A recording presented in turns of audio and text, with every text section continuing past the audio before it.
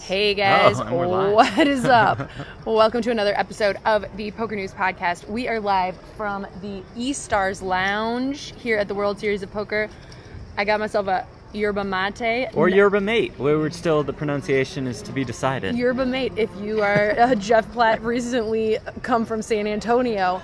Um, anyways, this is not sponsored by them, but it is in fact sponsored by Global Poker, which is the fastest growing poker site in I want to say the- in the United States. You can play in the United States. This is a relatively new partnership. We will keep you guys posted, but we wanted to go ahead and just get it out there. If you are in the US and you want to play poker, they have a sweepstakes based model so you can play poker online outside of I think say New Jersey, Nevada and the places where you can play on WSOP.com. This is Jeff Platt.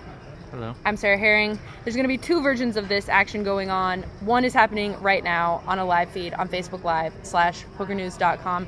The other one will be happening in an audio format, so there may or may not be some times where we have to say we're pausing, which in real life will only be a pause for a few seconds. Hmm. But in, Crazy editing technology you know, nowadays. it's the future. yeah. I'm Sarah Herring. This is Jeff Platt. Let's just get into all the action. So, since we last spoke to you, what's up, David, by the way?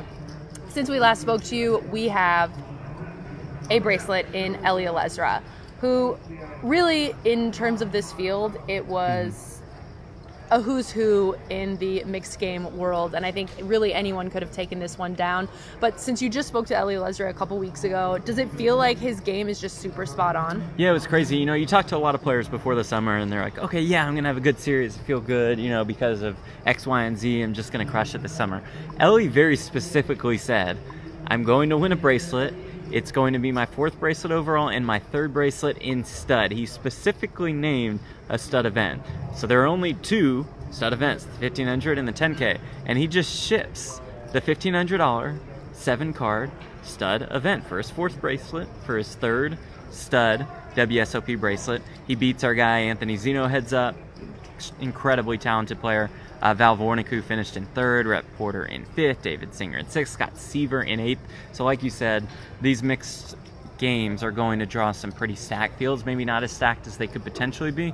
We'll get to that in a little bit. But for Eli Elezra, this has got to feel good because for the last year, he's probably been on this roller coaster ride of sorts, right? So he releases a book, and everybody's excited because this book is coming out, the English version. Shout out Robbie Strazynski for translating that.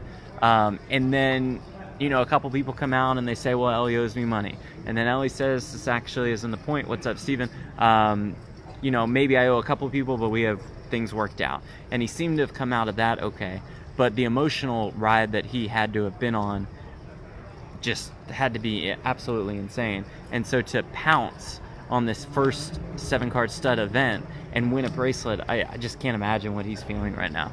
it's i think especially yeah you you're looking for validation you're looking for the poker Mhm. community to sort of uh, welcome you back in and if nothing else that you can get the respect that you feel like you deserve at this point in your career and he actually had won this bracelet i want to say it was in 2015 but he had won this exact bracelet already before and during his his interview with uh, Oliver Viles, he, no, with Will Shillibier, I'm sorry, on PokerNews.com, he said, "Stud is my game. Yeah. Like all these players are sick players. All these players, you know, might be able to beat me on any given Sunday, but stud is my game, and this is this is the bracelet that I'm going to come and win." And uh, briefly, I want to shout out. We've got our boy Eric Steinbaugh in the chat who donated a kidney to the mother. oh, Eric Steinbach, Eric Yeah, Steinbach. yeah. Oh, awesome, awesome, awesome. He donated a kidney to the mother of someone whom he had dealt to for years in Florida. He already went through the surgery just a couple weeks ago. The surgery went great, so I wanted to give a big shout out to Eric, boss hero, and he says he's flying in tomorrow, feeling good. So we'll for sure catch up with him in a video if we can, which I'm sure we can. For Eric, sure. you just got to come come get a hold of your lady. And shout out to everyone. By the way, we're like scrolling through the chat. I see everything. What's up, Oliver? What's up, everybody? Saying hi to the auntie. I love it. Um, but let's we're gonna we got to keep things moving since we do have the audio version of this podcast as well. Oh my gosh, this is one of my favorite stories of the WSOP so far. I shouldn't be backing up like this. We got to stay in with the yeah, mic. careful and don't fall off. The, these chairs are a little wobbly, Yeah. so we want to want to see pregnant Sarah go down for the count. Um, so Jim Bechtel, he just won the uh, 10K Deuce to Seven championship, and he already won a main event. Now, Yeah. I love thinking of these guys as say like the old school guys who were winning, you know, back in the day. And I think I, if I remember correctly, there was something like 271 players um, in that field. I hope I, I might. It sounds weird when I say 271. We're talking about the deuce to seven, so hopefully I'm not wrong, but I may or may not be. This field, the 10K deuce to seven, had 91 players. He was it's he set a record for being the longest player with bracelets the longest separation in between two bracelets which was what 26 years? I want to say Yeah, 26 yeah. years. And am i the only one that when it said 26 years i was thinking oh yeah like the 70s or something right? Or the 80s when it said 26 years i was like dude 1993 was 26 years ago? What? We are getting old really fast but a huge congratulations to to jim Bechtel, and actually, when I walked by that final table, Mm-hmm. if I have to be honest with you, didn't even notice or recognize him because the final table was so sick. Yeah, I would say so, and it made for a very entertaining broadcast as well. Whenever you have Jean-Robert Bellande at a poker table and there's a camera on him and there's a microphone on him, you know you're going to be pretty entertained. And I think um, he lived up to kind of the hype that we felt going into that event. You also had Paul Volpe, who's just a boss in all these 10K events. You have Prahlad Friedman, who I think is regarded as one of the best no limit deuce to seven players out there right now. Darren Elias, who just crushes absolutely everything. You had Pedro Bronfman, I wasn't familiar with the name, but he actually did the music for Narcos, very popular series on Netflix. So it's like everybody had something. You had Vince uh, Musso, another one of these old school guys, and then our guy Jim, who takes it down. He just kind of comes out to the series here and there. He fires the main, he fires the deuce to seven, he goes home, and that's pretty much it. Like he just doesn't play that much. He went deep in the main in 2015. He finished in 121st place. And Sarah, like this guy was just a boss during play. I mean, he made some absolutely sick bluffs that the commentators Ali Nejad and Randy Oil did not necessarily expect, and he made some sick value calls and value bets as well. Um, he was he was just fantastic. He put on quite the show.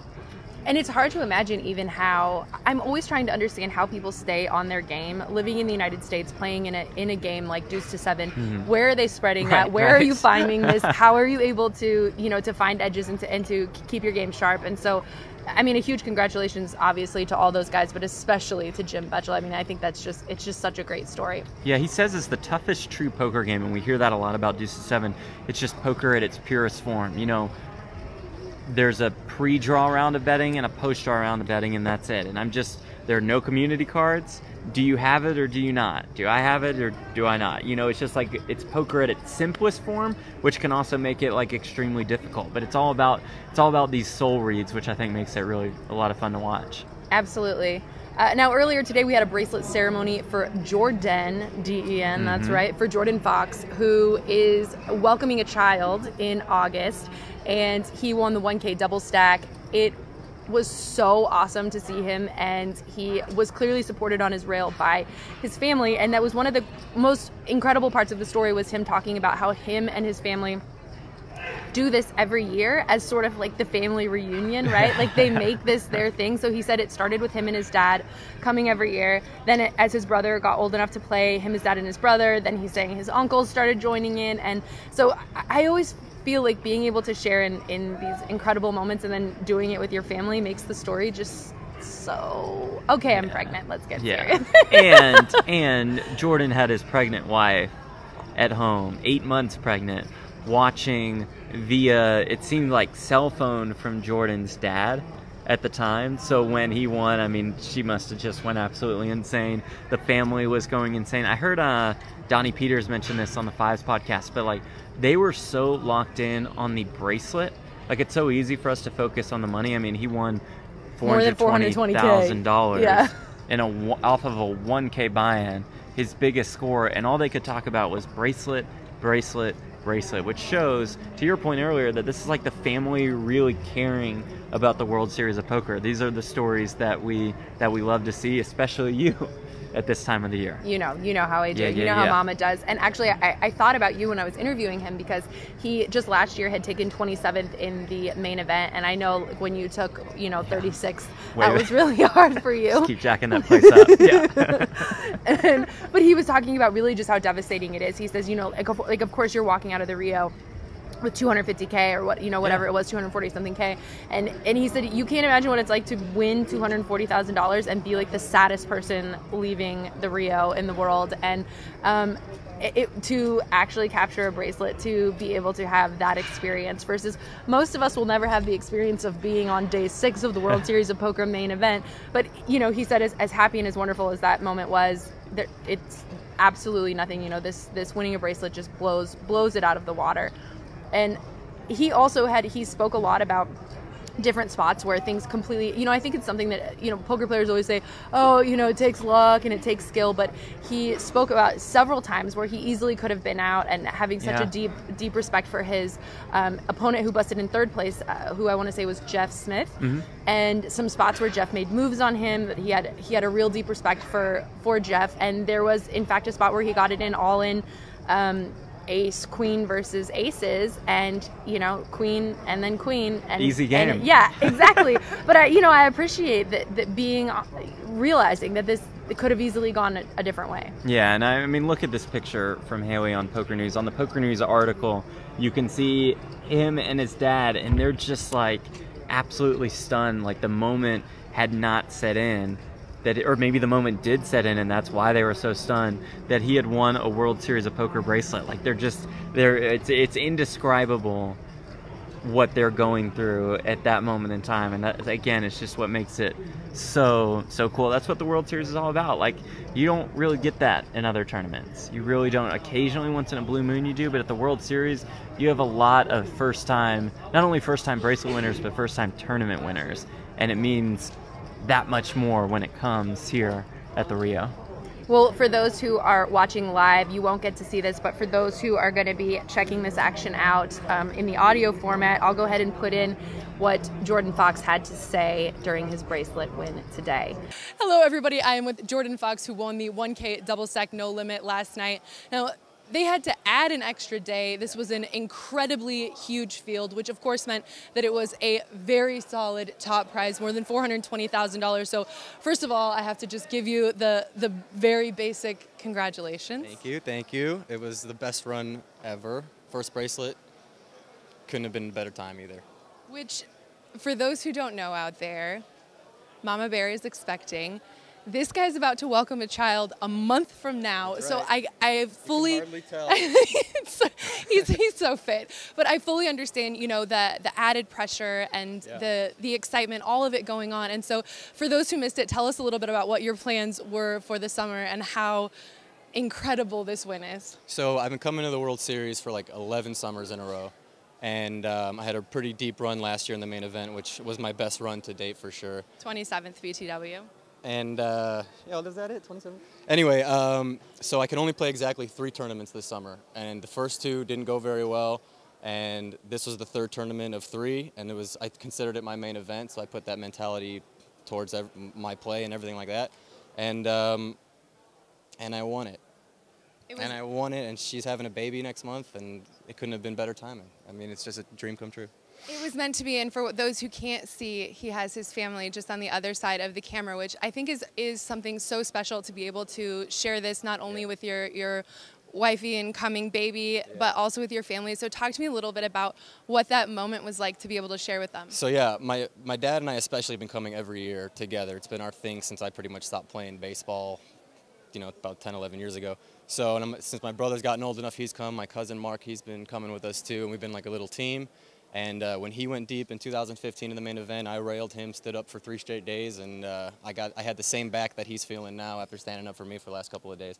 But um, but yeah, I mean, yesterday when we were at the final table was when things really got exciting, not just for me but for the rail because they not only could they have a hard time seeing the action, but they could only judge what was going on based off my reactions to them. So I, every now and then I'd shoot them a glance, like they that means like I you know check this one out, you know what I mean? Be here with me. Yeah, and they and they were right on tune with what I was sending them and everything like that. And um, the, ta- the final table was smooth and um, a little couple of bumps heads up, but um, I think within a half hour it was over. And I just remember throwing my arms up like in triumph, and then my dad and brother and cousin just come busting through the rail, and we just grab each other and We heard you, by the way. I was on the other side Yeah. of the Amazon, and I heard you. Which those are actually, you know, those are the moments that that poker is about. That's what it's what it's all about. And I wanted to ask you, you know, for most people, getting as deep as you did last year in the main event is the goal. Is I mean, there's Yeah. so much anticipation. Once you get to day six, it's like the whole ESPN is all over you. on day six too, so I want I saw the light at the end of the Yeah. tunnel, but it's still very far away at that point. So I was really happy with my run, considering I've never had one cash in the main event with six other tries. That's how hard it is. And um, so it, it's so weird, and every poker player can attest to this. Once you bust, no matter, even if you took second or third place in the main event, not winning it is devastating. And I won a good amount of money, and anyone else who's cashed in the main event will tell you they're the saddest people in Vegas to win that much money that night. And then the next day or two, however long it takes them to get over it, you know, they're they're feeling pretty good about about their performance and the money and all that. But everyone's searching for that bracelet, and now that I have one, I It's a completely different I- experience. I forget about it every few minutes. So it's like a resurgence of of like, uh, oh my god, oh my god, What's happening? I don't even care if it's in the bank yet. It's there. I've got the bracelet. No, I, I know it's uh, it's just amazing, and the bracelet. Is, I saw a guy actually. I played with a guy on day one with the bracelet from re, from something he won a few years ago. I was like, oh man, that would be cool. See you next year oh, when he has his and he's just there. Well, I wanted to talk to you about I'll there have a were. baby Bjorn on by the way. I was thinking the same thing too. I'm They like, allow babies in here? no, We'll find out. gosh, I don't know. They definitely don't, but you'll have that. I, I always say that you have like the get married run good and the new baby run good. Yeah. So next year is going to be crazy for you. I was hoping on that run good too, and it's real. Yeah. No. Birthday run good, wedding run good, and uh, and baby run good. Ship it to Papa. Now, before I let you go, I wanted to talk to you a little bit about there. There were some spots where things could have gone very different for you, and there were definitely some tough opponents. Um, specifically with Smith, you got in a couple of spots, Mm-hmm. and I wanted you to just kind of, for those who missed it, talk us through a little bit about those hands, those moments, what the emotions were like for you. Well, I was grinding it out uh, with uh, with with Jeff a lot for a couple of days, and um, at the end of day two, I was just grinding like three and a half, four million, and the blinds are so high. It's not a traditional. Oh, I have eight bigs, so I'm just gonna jam. I mean, everyone was pretty much short because we were, you know, the, the turbo made it crazy, and so um, and on, on the end of day two. Someone on the button opened up for a massive 2.8 million raise, which is a major over over raise. Uh, he goes all in for about five million. I look down at queens. I have about four million. I stick it right in. The other guy tanks because obviously he was kind of messing around. He ends up calling with ace 10. Queens held up and I tripled up. And from there, I really took. The 2.8 million raiser had ace 10. He had ace 10 and he ended up putting it in because there's only maybe a few million more to him. So um, the queens held up there, and I ended up being chip leader going into day three with 11 left. And I took a couple. I actually doubled up a short stack, the same guy twice early on. Got unlucky, and then I didn't really bother me. I just weathered it, picked up my chips back, and then um, just was chip leader going into the final table, or at least top two. And then it kind of went up and down for a while between me and, and Jeff, and I think just between me and him. And then we started taking people out. And then we let some other people do some work for us. And then uh, I got real lucky with Jeff when we were three handed. when we got into a raising war and he had aces and I had ace queen. And I four bet all in and he snap called, obviously. And I was like, oh boy, this is the end. I'm going to take third. And I was the last person to see the cards because I'm on the right side of the dealer and my rail's on the left, right? So the cards come out, and before I could see them, I hear, okay, there's one. I'm like, oh, okay, there's some magic there. And right on the turn, bam, a queen. Sweat, sweat. And I'm like, oh, as long as the case ace doesn't come out on the river here, I'm pretty good. And it didn't. And uh, another explosion from the rail to be get like 80 or 90 or 100 million chips going heads up, and then within a half hour, it was it was over. So in that moment, it- you know, in those sort of turning point moments where it can go one way or the other, when you go from full on panic to hope and then to, you know, ultimately joy, Yeah. did you feel like, okay, this one's this one's going my way for sure? Yeah, once I beat uh, Jeff in that one uh, with the queens or with the um, what do we have? Oh, in the last stand we had ace. Oh, actually, in the last stand where I took him out, I had ace king and he had queens, and I ended up flopping an ace. To, So queens only work for you in this tournament. Yeah, queens are were money for me only, and then I got it with ace king. So, but yeah, it was great, and I thought he made a move on me in day two, and then we talked about it later, and I had so much respect for him, and I thought he was the best player left in the field, and uh, you know, obviously I wanted to win, but it would have been a cool heads-up battle. It made it a little bit easier for me, I thought, um, but um, yeah, hats off to him. I thought he played a great game, and he was very, very methodical and well put together. So it was good to have someone who I respected before I even got to the final table follow me to the final table, and you know, we were able to play together. So that was awesome. Well, finally, before I let you go, you know, speaking of queens, this was a tournament of queens for you. Let us just say that someday in the future, your daughter is watching this video. Yeah. What do you What do you want to say to the coming kiddo? Don't ever come to Las Vegas. I see people here with kids all the time. You're not going to be one of them. too many bad things. Maybe when you're 40, I'll be a lot older, but I'll still show you this video. I love you. No dating, no Las Vegas, but a huge congratulations and hopefully a solid college fund for you. Now, this is actually not on our list, but um, since we do, in fact, need to answer a couple of things from Yeah. the chat, Joe Bradley wanted to know who do you think will win Poker Player of the Year? Who will pull it out? We've talked pretty um, extensively about this, as obviously it's. Uh, Something which causes a lot of controversy every year. right now, Dan Zack is still, he came out, you know, out, out running right away. He's still in the lead. Everything under first place so far has, has oscillated back and forth a, a bunch of times, but certainly right now he's the man leading the way, but I think actually almost all of our predictions are totally possible at this point. Danny Negreanu, Yeah. totally possible. Shaun Deeb, totally possible. Ben Yu, totally possible. Even Cal Anderson, whom I put, I mean, really, basically everyone that we've said has either final tabled or come extremely close in several events, and so it's really anyone's game. Yeah, so for now, everybody is chasing Dan Zack. And Dan Zack, by the way, has chips uh, at the time that we're recording this. 54 players are left in the 1K, and he has a below average stack, but he's still in the mix there, according to the latest reporting from Poker News. So he's in the best shape, but like just like Sarah said, there are 20 people who could win a bracelet tomorrow who would overtake him because of their previous cashes. So the summer is still wide, wide, wide open. Um, we haven't had anybody final table two events, I don't think. Zack had the first and then a little off of final table. Um, he's just had some field bonuses, which is good for that 25k fantasy. Um, so, it, wide, wide, wide open race. Well, we of course always love, and when I say we, I mean me for sure. Always love talking about the drama. Always love talking Yeah. about the controversy. Yesterday, I caught up with Allen Kessler, who we all know is the, uh, should I say, structure police. I'm not sure what's the best best way to describe it, but there's been a lot of talk about the structure in the 1500 limit events, but also a lot of talk about the structure in the championship events, which have all basically moved to four days. Right. Tell me what you're hearing. And so the 1500 mixed events also have moved four days. Some of that is to accommodate the streaming of that final day. So when there's a final six, either CBS All Access or PokerGo can be like, boom, six players come out. The stream starts at one. All, that's it. That's all we have to say. Whereas last year, you know, some tournaments like didn't get to the final table until like five, six, seven o'clock at night. They had to kind of adjust on the fly. So this was definitely safer for the streaming. And then a four-day tournament obviously will make the uh, the structure will be better, but key key but here is that the pros, some of the some of the big time pros don't want to spend four days in a fifteen hundred dollar mixed game event, right? Like they know and love it. They're here for the love of the game, and that's why they're firing it off to begin with. They don't if- even want to spend four days in a 10K championship exactly, event. exactly, exactly. So if you took four days for the pros in a championship event and they're tired of that, imagine what they're going to be like for a 1500. So you see guys like Christopher Vitch, like David ODB Baker, who are sitting out these events. And they would have never even considered that last year. So there's clearly a problem. There's obviously a balance that has to be weighed. I'm sure Kessler is excited about these structures, but you have to, you know, this is a process. So you have to tweak it even more for next year, and I'm sure that that's something they will do. Yeah, it's and it's interesting when you know something else that I think the players have to at least recognize or consider is the fact that when we are doing the live streams or when streams are happening, schedule shifts are also going to have to happen. Sometimes things that were going to Yeah. be three days are now going to be four. Yeah. Sometimes uh, vice versa. But it's interesting for ODB because a lot of the controversy was coming because I thought people were saying that ODB had helped design the structures for the 10Ks, Yeah. but then this was like making people miss other things that they didn't want to. And I think really the the bottom line is that it's just impossible to make everyone happy all the time. Yeah, that's so true. And we're always trying to adjust. We're always trying to to to mix things up, but it's like do you want better structures? Do you want like turbo structures?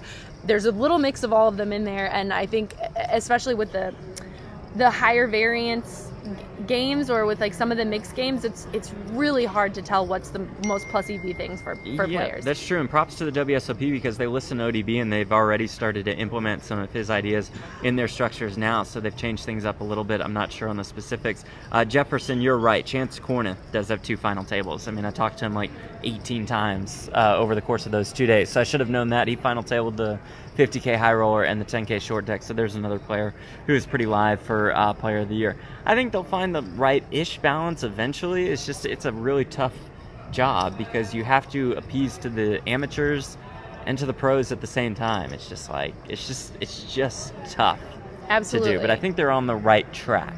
And speaking of that, actually, something that they just released today is that the World Series of Poker is actually adding an event to the schedule, which I, for one, I've never seen this in the history of me coming here in nine or ten years.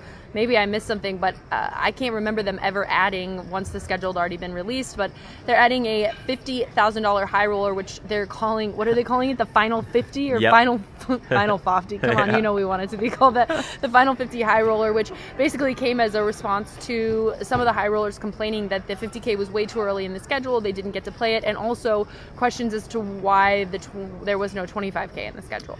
Yeah, and so Seth Palansky, and you guys can read up on this on PokerNews.com. I believe it was, yeah, it was Valerie who wrote this article. Said our 50k to start the series. Remember, they usually start the series with a 50 or 100k, or they at least had the last couple of years.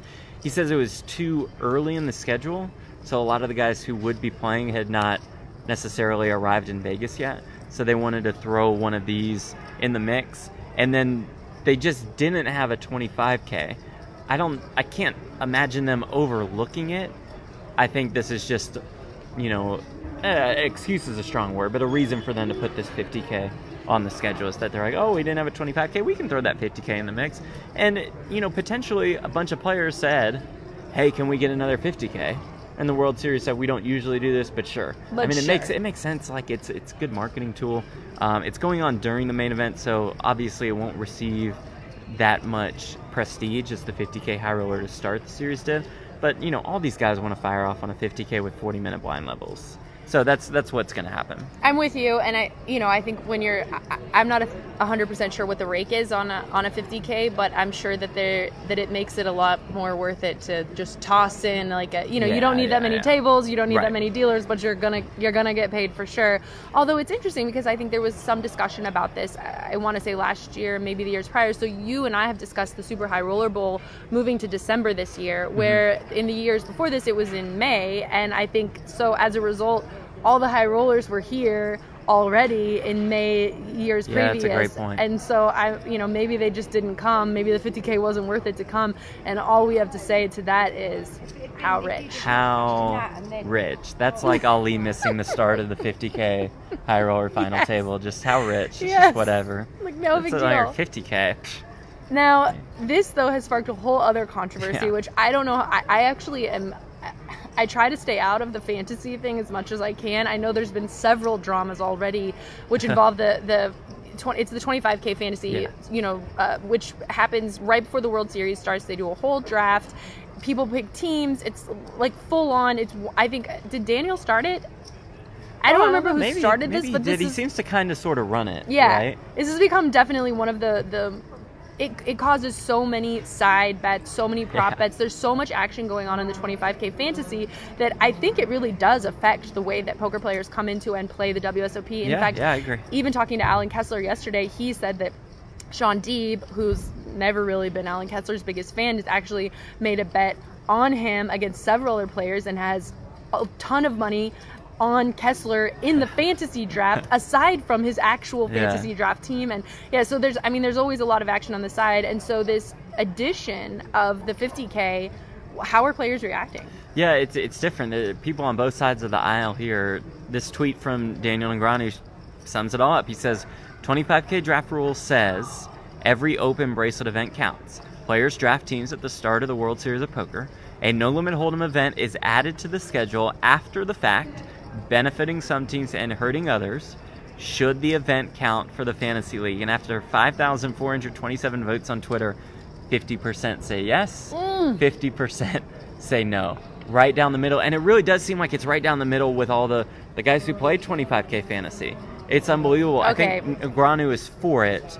And Justin Bonomo is also for it. So I feel like if Negreanu and Bonomo agree on something, Everyone that should should be be the right side. No, yeah. no. But I think they're going to take it to the, to arbitration. No, uh, for this I one. say no way. And Why? actually, it's because it's the same. It's the same reason when I'm thinking about who I think is going to be Player of the Year. There are Okay. so many things which affect my decision, which Uh-huh. have mostly to do with what are the possible tournaments that can be scheduled in that. So, you know, it's not who's the best poker player. It's not who. When you're looking at a point system and you're looking at a field that's a fifty thousand dollar high roller, this is clearly going to affect. There's a small field which we've talked about before, maybe 50 to 100 players that Yeah. regularly play these high rollers, and I think if you add even just one event to something like that, of course, it's with these micro edges that players are always trying to figure out in any spot. It's definitely going to change who the players are going to be that you would draft if you're looking to draft the HRs. Oh, Jeff's going to give me the other side. Let's Well, hear it. I just- and what do you guys I feel like if there were a rule that said these teams will participate and play for points within the 89 events of the 2019 World Series of Poker, then I'd be with you. The rules say every open bracelet event counts. This is a 50k high roller open bracelet event. so you think it's fine? Just I'm just going by the rules. Okay, I- I would it think- have affected your team picks? No, because I, I think when you just add one tournament, like you said, this whole high roller tournament series is a game of micro edges. So over the course of a year, the more and more tournaments that these guys can play, the better for them. One no limit hold'em high roller being added a small field event. At, if you were to tell me before the series started this would be in place, I really wouldn't tweak my. I'd still look for some more mixed games guys here and there. I don't think I could alter my draft strategy based off of one event. But see, my argument to that would be then you specifically would have to extra weight these small group of players Uh-huh. that are mixed game players who also play all the high rollers. So then you're like specifically waiting Stephen Chidwick. You're specifically waiting. I, I mean, I'm trying to think of who who are the like maybe 15 players who consistently play the no limit hold'em high rollers who also are going to play and be really good at all the mixed games. I think it makes a difference. And who's going to be the ultimate deciding factor? Is there like a board? But is Stephen Chidwick any lower or higher on your board? He's Like- to me he's more expensive if Mhm. this there's tournament one is more in the 50K? calendar. Yeah. That's that's a fair point. I mean, I I think that obviously a ton of variance goes into the 25k fantasy as a whole, and it depends on how your players run. Um, this to me looks like it's part luck of the draw that you're a little luckier if you have some of the high rollers, and you're a little unlucky if your team is not full of no limit hold'em guys. I don't, it's it's a tricky. uh, It's it's such a tricky spot that that's why I keep reverting back to this is what the rules of the 25k fantasy says. Mm. Like this is the rule. I, I it's not. I can't possibly Oh, man, you're like disagree with your guy. argument. Yeah, yeah, yeah. He's like, I'm sorry, it's and gonna if I'm like, well, rule it's- 37 on page it's in the 16b. corporate policy. Yeah, we yeah. can't make it happen for you. and I Um, want to say, you're right, Jefferson. Exactly. I'm What with it- you. What do you guys Jefferson think? What is it the wasn't on the schedule shouldn't, Shouldn't count. count. That's fair. Like I can't argue any of the points that you are making. I, I'm just pointing to the rule book because why not? I can also kind of see the argument, just a little bit, that Here right the fa- that fantasy the fantasy draft in the same way that poker is a game of skill, Yeah. it's also a game of luck. And Yeah. so okay, this is maybe just like luck, but it's also not luck because how many of the players okay, and not that they would ever do this or this is actually the thing, but let's just say how many of the players that are going to play the 50k are also invested in the 25k fantasy draft, and these players complaining is what gets the 25k fantasy draft on the schedule. I think with all the like, in addition to the money that's actually in the fantasy draft, there's just so much money on the side And I'm like, this is really affecting a lot of people, and I'm really. It surprises me actually that anything is so equally divided. I, I it's great, Jeff. I It's just great. love it you when love we any have kind these of controversy, any kind of argument. Uh, ben says Jeff loves the rules. What a nerd. Ben Ludlow, by the way, he's playing day three of the marathon and should be hyper focused on a massive stack in a crazy tournament. So I don't know whether to thank him for taking the time to listen to us, Yeah. or to admonish him and be like, dude, go play, go play a tournament, go Get lock your head in, the let's game. go. What didn't Ben go super deep in something last year?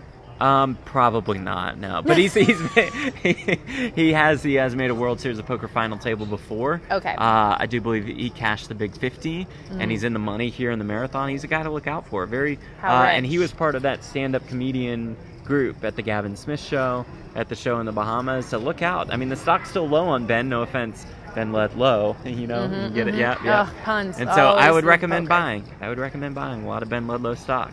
I love it. So there you go. Oh, Ben, of course, is with Jeff. And then he agrees with me. but he's probably like not friends going or something. He's not Yeah. going to agree with you after he hears what you had to say. Yeah, that's true. Uh, okay, well, I I guess we'll have to leave it up to our audience, and maybe we will have our own Twitter poll, which we'll get to in a couple days, where you guys will Yeah. tell us what you think, what the PokerNews podcast family thinks.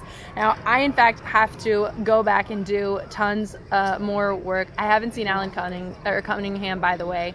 I have seen a few other players though that I hadn't seen in a long time. Uh, but before we go, I wanted to go ahead and leave you guys with. We spoke a little bit about the 10K heads up and what an awesome, prestigious event. I I spoke a little bit about Cord Garcia, who's someone who I really see on the up and up. He's he's coaching a lot of players that we see that are really sick. He's getting coaches from some of the best players in the game. He's just continually getting better and better and better. And to see him go as deep as he did in the 10K heads up, I wanted to talk to him a little bit and and get his perspective on, you know, is he is he now like a 10K kind of guy, and is he like working on heads up? What's going on with him? So let's let's check out what the boy Cord Garcia had to say. I've never been out of the country, so it was something that I kind of wanted to. I always wanted to do, but I was really good at procrastinating on. So Standard poker player. yes, um, it seemed like it was that time. Um, I was ready, and yeah, I found some like success immediately. So that was obviously super cool, and um, I just wanted to like see more of the world. I've been only in America my whole life, so it just made sense, and I'm glad I did it. Well, I for one was surprised when I came last week. You know the the 10K Heads Up, the Heads Up Championship is always one of the most prestigious events. I think anybody who loves poker is always, you know, looking at this event to see the cream of the crop rise to the top. And I was super excited to see you deep, deep in this event. And, you know, it's not something that I normally would say, oh, yeah, Cord Garcia, like heads up specialist in a 10K. That makes sense. So, what's been going on with you? Is it like, did you just decide to fire this? What's, have you been working on your heads up game? I always wanted to play this one. Um, 10K is obviously a lot, and when I was younger, it didn't make sense financially, and probably experience-wise too. Um, but I played a ton of heads-up sit and goes and sit and goes through my youth. Um, super comfortable, super confident heads up. Um, when I get to the end of tournaments, I don't have many seconds on my Hendon, so um, I feel really confident heads up. And I always wanted to play this one, and yeah, just felt like the time was right and it was smooth. I won five matches. Uh, I lost the sixth in the semis,